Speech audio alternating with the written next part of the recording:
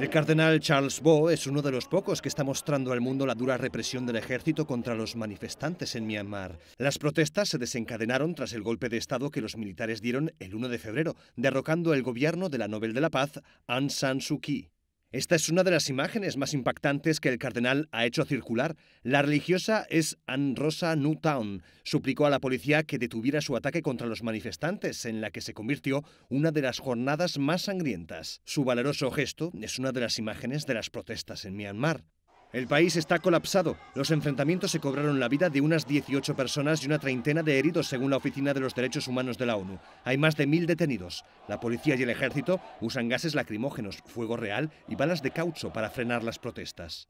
Esta no es la escena de una película, esta es la realidad de Myanmar hoy en día, denuncia el arzobispo de Yangon, el cardenal Charles Bo, en las redes sociales. Sus palabras contra la junta militar son muy duras.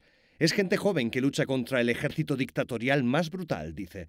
El cardenal está usando las plataformas de Internet para pedir ayuda y paz con insistencia, aunque por el momento no hay indicios de que la situación vaya a mejorar en el país visitado por Francisco a finales de 2017.